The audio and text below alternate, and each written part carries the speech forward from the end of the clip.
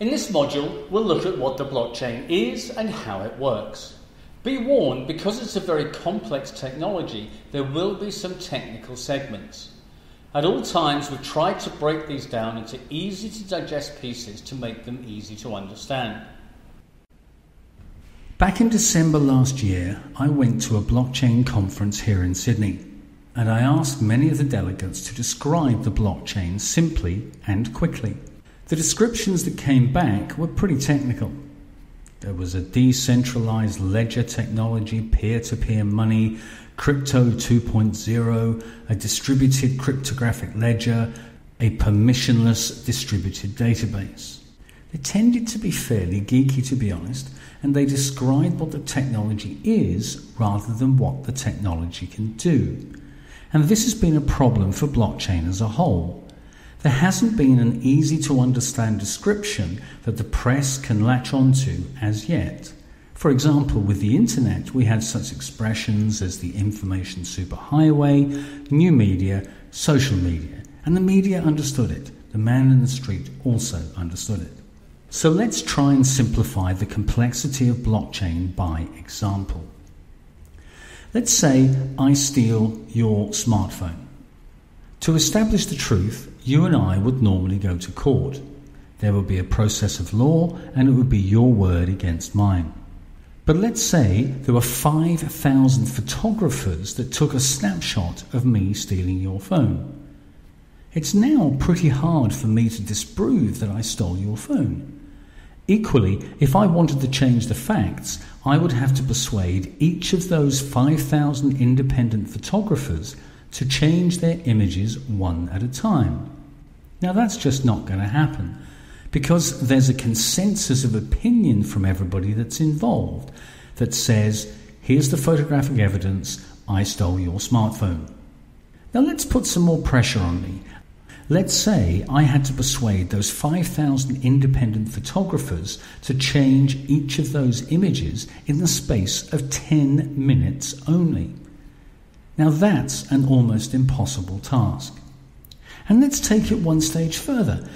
Let's say all the photographs from all the photographers are permanently sealed in a bank vault. And the bank vault has a combination lock on it that has more combinations than there are grains of sand on the planet.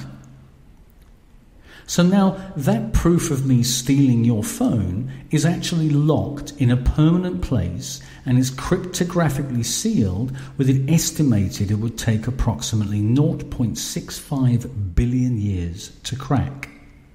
But let's say finally we've also got a camera inside the vault. This means that anybody in the outside world can actually see the images of me stealing your phone in other words, they can see the formal proof. So now we've got a very solid, permanent proof that I stole your phone, which anyone can see. This is how the blockchain works. Except we substitute the 5,000 photographers for 5,000 independent computers connected globally. These are called nodes. And instead of the photographic images, we have data. Now, this is where it gets a little technical, so just hold on in there. For this next stage of the explanation of the technology, we will use the example of the public blockchain that underpins Bitcoin, although broadly speaking, other private blockchains follow the same broad principles. Now, that piece of data is locked together with other pieces of data into a block. This block of data is locked with a mathematical problem that needs to be solved. In the public blockchain, the Bitcoin miners solve that mathematical problem, and by solving that mathematical problem, they actually get rewarded with Bitcoin. Once solved, that confirmed block of data is then broadcast to the other 5,000 computers, in other words, the nodes, on the network for their agreement. Once they have agreed that block of data, usually after 51% agreement or consensus, that block of data is permanently locked on top of the previous block of data to form a chain. This usually happens every 10 minutes. In practice, it's actually recognized that it takes six blocks to validate a transaction formally. That's usually in an hour. So if someone transferred 100 Bitcoin from one person to another, they would typically wait for six completed blocks to be validated to confirm that the payment is legitimate and has been received. The reason behind this one hour delay before a transaction is recognized as being valid is because of what is known as double spending. Unlike your bank, who knows how much money you have in your account at any given time and can authorize a payment, the only knowledge the blockchain has of your ability to pay is from your previous transactions on the blockchain itself. These transactions would include the original transaction confirming you bought the original Bitcoin you are now trying to spend.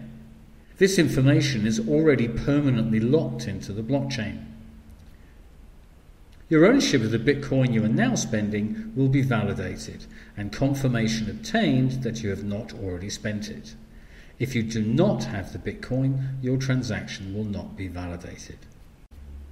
If you do not own the Bitcoin, your transaction will not be validated. One such example of a blockchain transaction is shown here. Yes, it's very technical, but a key thing to look at is the time stamping, which will become more important later on in this course. One thing to note is that every historical Bitcoin transaction is stored on the public blockchain. This has been in place since it started in 2009. This actually means the size of the blockchain overall is now about 52.5 gigs in size, and that's doubling every year. Currently, on the public blockchain, each of the 5,600 connected computers hold a copy of the permanent blockchain dating back to 2009.